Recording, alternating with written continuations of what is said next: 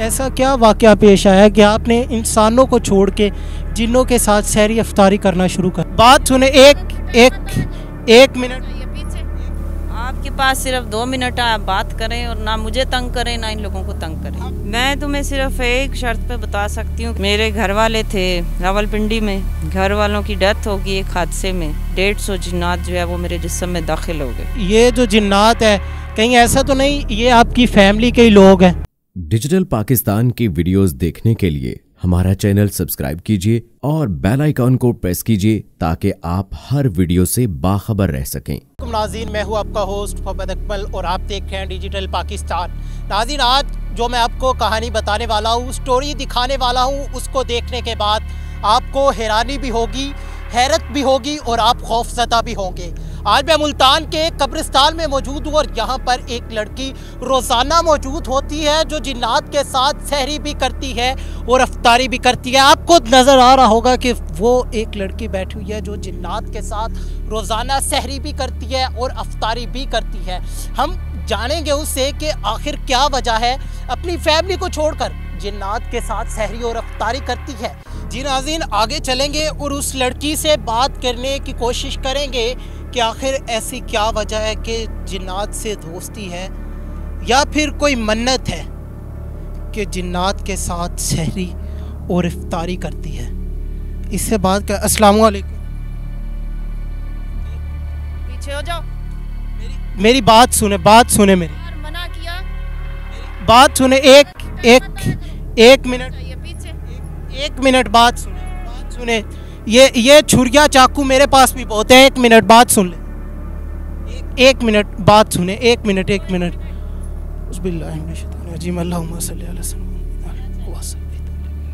एक मिनट एक मिनट बात सुनो।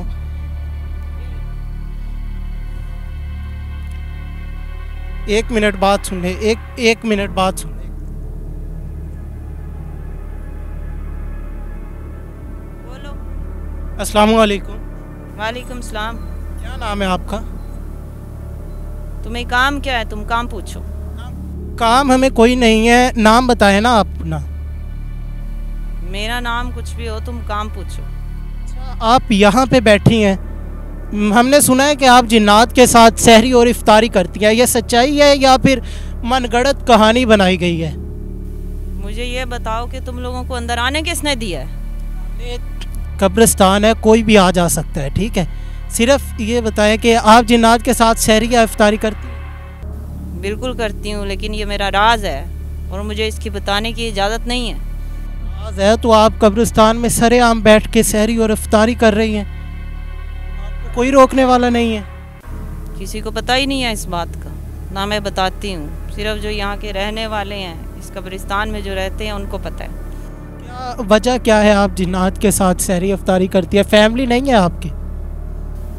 ये एक बड़ी लंबी कहानी है। मेरी फैमिली नहीं है इस वजह से मैं जिन्नात के साथ ही रहती हूँ।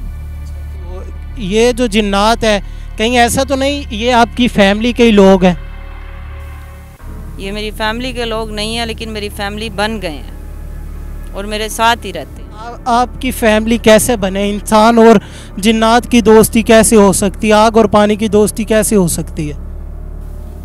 इसके आप देखें तो बड़े वाक़ात मौजूद हैं। आपको, आपकी ज़ुबान में, आपके कैमरे पे भी और बड़े ऐसे ऐप है जहाँ पे बड़े वाक़ात मौजूद हैं कि जिन्नों और इंसानों की दोस्ती भी है। अच्छे जिन भी होते हैं, बुरे भी होते हैं, मुसलमान भी होते हैं गैर मुस्लिम भी होते हैं।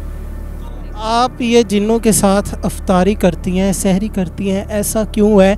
ऐसा क्या वाक़ पेश आया कि आपने इंसानों को छोड़ के जिन्नों के साथ सहरी अफ्तारी करना शुरू कर दी?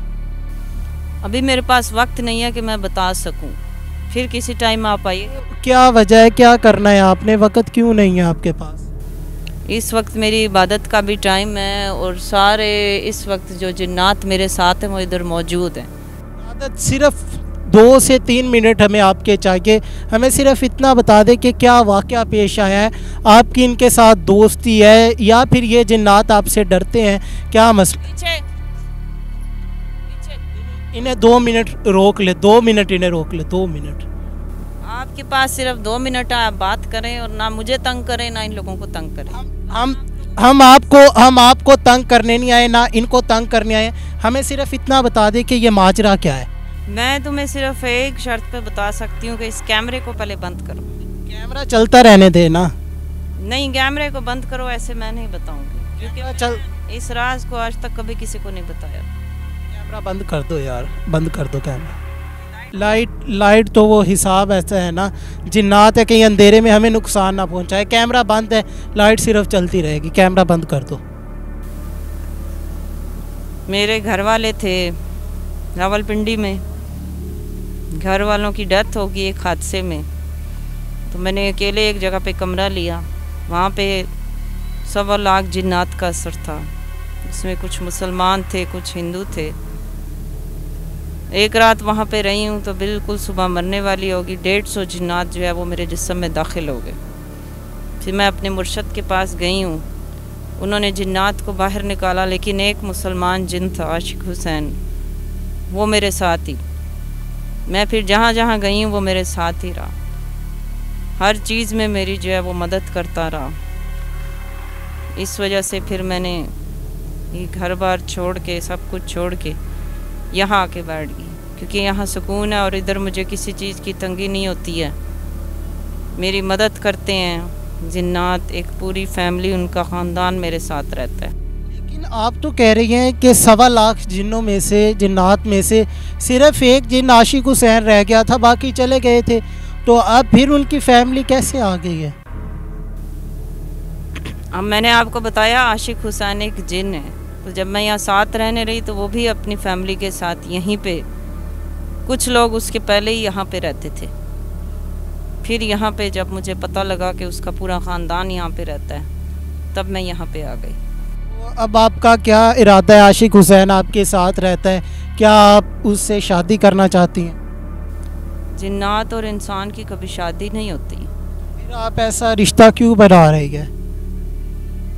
बस यहाँ पे मुझे सुकून है कि मुझे किसी चीज़ की जहनी तौर पे तंगी नहीं होती अपनी इबादत करती हूँ जिन्नात के साथ रहती हूँ और एक आपको नज़र यहाँ कुछ नहीं आ रहा। लेकिन इस वक्त ये मेरे साथ बैठे हूँ। जो जो तबीयत है वो बड़ी ख़राब हो रही है। यहाँ पे बहुत ज़्यादा गर्मी महसूस हो रही है।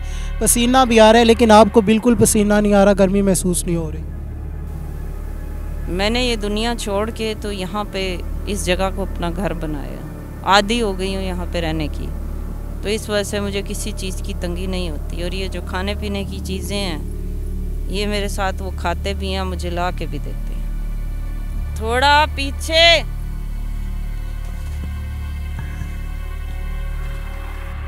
क्या हुआ क्या है हुआ क्या है बात तो पूरी कर ले। आप अभी यहाँ से चले जाएँ?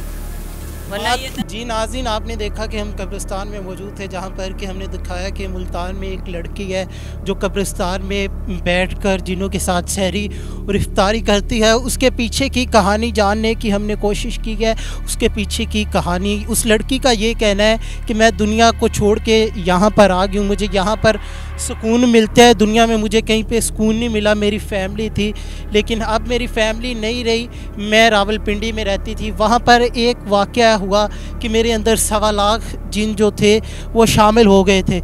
लेकिन उसके बाद सिर्फ़ एक जिन था, आशिक हुसैन, जिसे मुझसे मोहब्बत हो गई थी, प्यार हो गया था, जो आज तक मेरे साथ है और अब उसकी फैमिली मेरे साथ है। आपको ये वीडियो कैसी लगी है, कमेंट में लाजमी बताइएगा। मिलते हैं किसी और वीडियो में। तब तक के लिए अपने होस्ट मोहम्मद अकमल को दीजिए इजाज़त। अल्लाह निगहबान।